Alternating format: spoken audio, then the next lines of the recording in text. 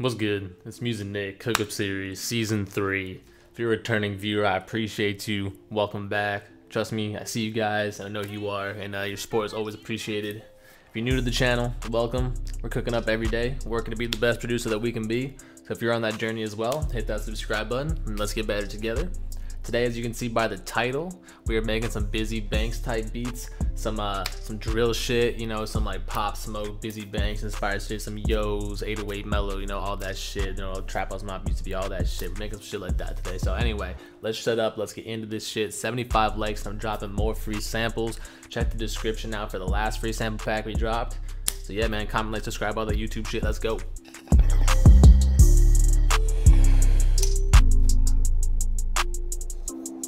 Get into this shit, man. Let's go like 142 BPM.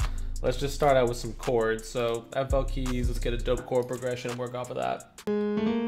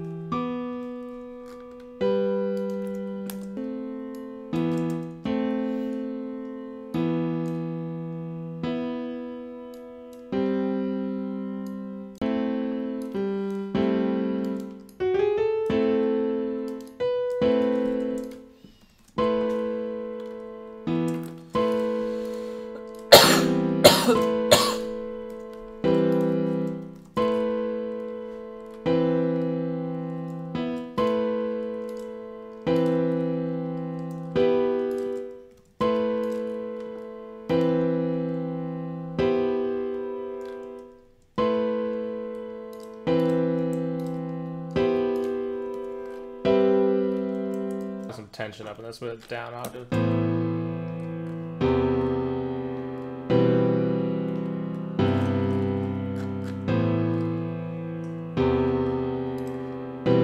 I like where we're going with that.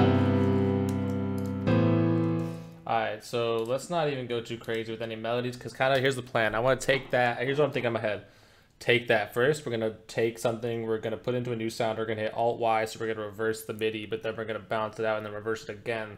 So when you reverse something that's playing in reverse, it becomes playing playing backwards but going forwards, if that makes any sense. And then I wanna make something that's kind of with those chords, but kind of dun, dun, dun.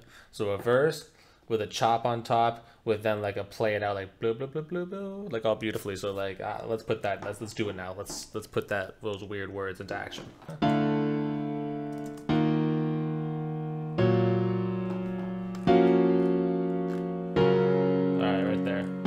Expand, ballad string pad. Uh, it might be a bit big, but we might just end up half timing and then that'll make it fine. So let's, like I said, we'll take this, we hit Alt Y, flip horizontally. So now the, the, the it's playing like this direction is now as if it was front. So when we reverse it, it's gonna be the right way again. But anyway, reverse it.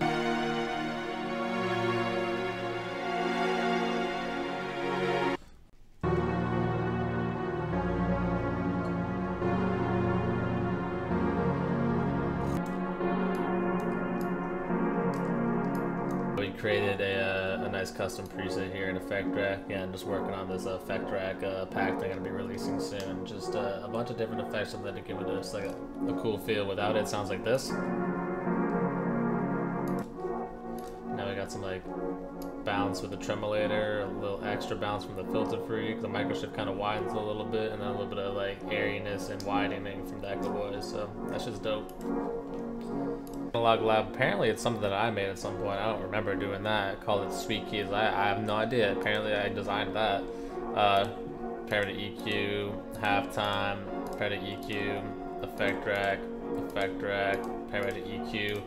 Like we said, just took the chords and we just chopped them. And um, I kind of took off like that top line right there. So I took that off right there so it builds.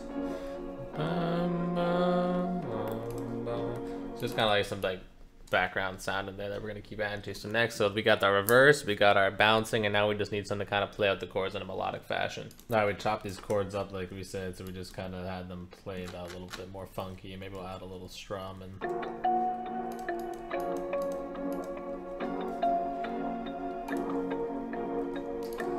got this random lean and kind of sounds like in memoriam, but not too much.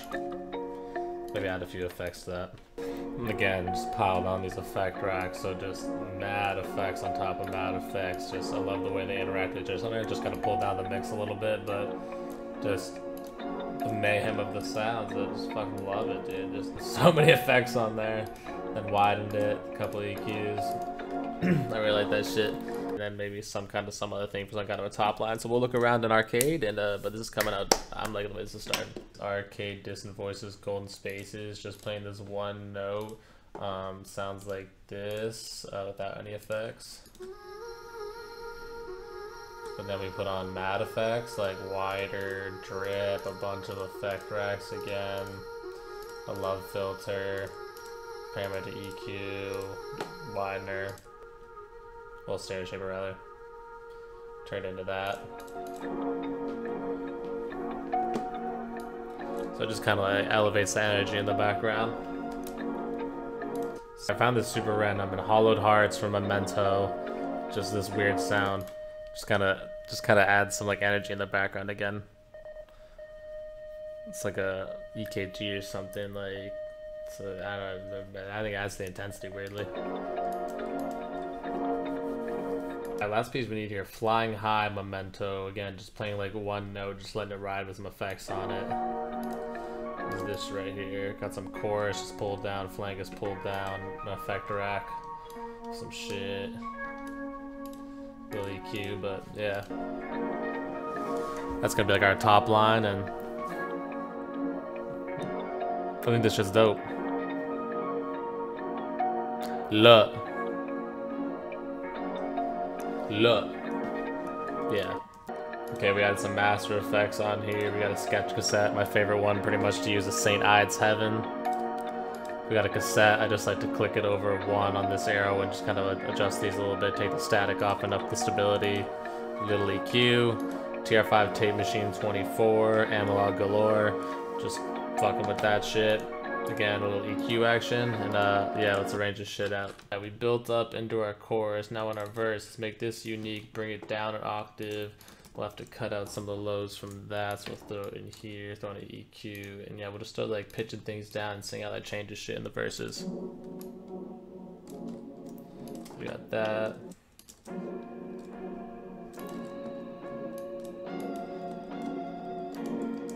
Our bounce sample here, let's bring it down 100 cents so I get out a little more.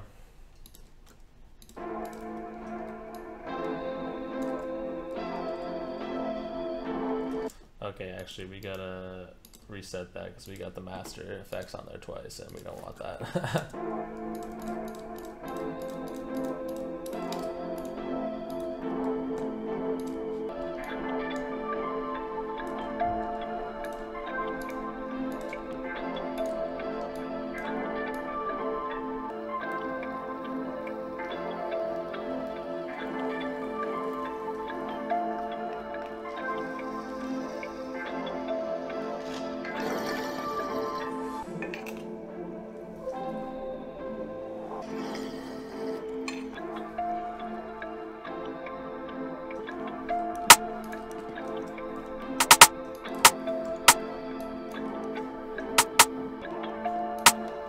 shit's not hitting hard enough? Clip it, boost it.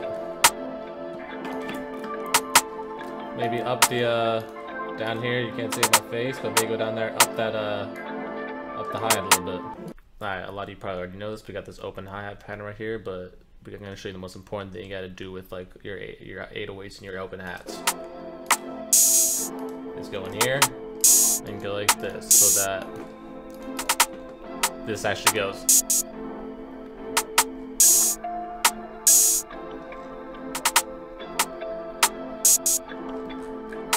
Basic outline for a drill hi-hat. Maybe let's add like maybe a couple, let's see if there's any space for any kind of like chops, but maybe just keep it like the simple outline.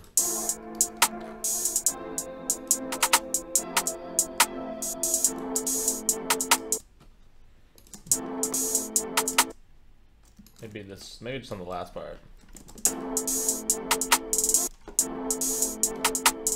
Now I get a pretty basic kick pattern, but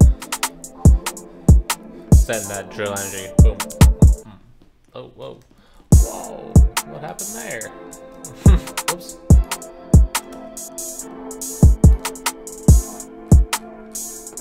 That happened. Alright, not overly flexing at all with the 808s, just really simple with the tiniest little bit of some slides.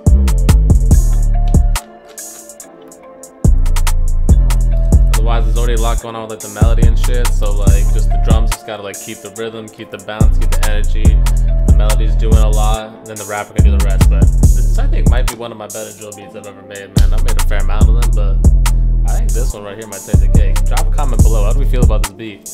Let's uh, really get it bumping though. So I already got my 808 pretty much leveled at negative 6. My kick leveled at negative 3. That's where we want those. We'll level everything else around that. So I definitely don't want my uh, snare to be any louder than 6. So it's under that. So minimal as fuck, dude. Just oh, two hats. let's just keep like this. One, two, three, four, five drum sounds. Five drum sounds. And this shit's dope. And uh, TR5 Classic Clipper.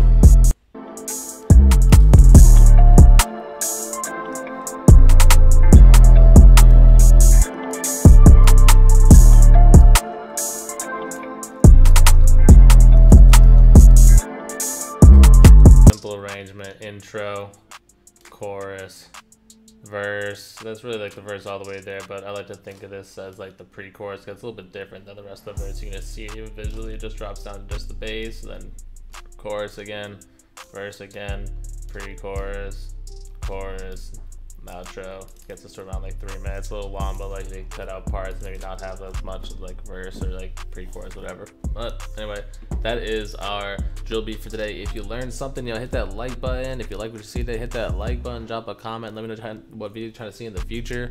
I'm really trying to take all your suggestions and cook up to the best i can. So yeah let's stay inspired together stay motivated together let's keep learning together. Appreciate you guys. Till next time here's the final beat. Peace